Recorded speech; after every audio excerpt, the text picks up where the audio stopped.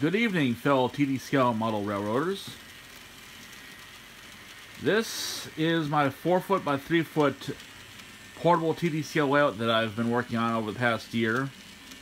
Uh, landscape wise, it is getting close to completion. All I have left now is to uh, build some buildings for it and finish the roads. And a little bit of grass here and there.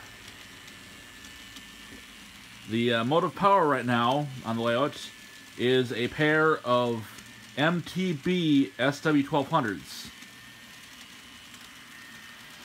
They're decent little locomotives, at least for for what they cost. Uh, the uh, one on the outboard track is a bit noisy right now.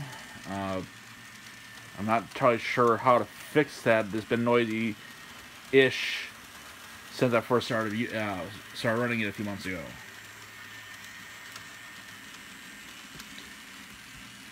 But once I finish up this uh, module here, the next endeavor will be a uh, series of modules for a system I'm calling PossumTrax that will be interconnectable and to take that and store it into the back of a truck or back of a trailer and take it uh, where I feel like it to uh, show TT scale at its finest, or at least at the finest I can get it to.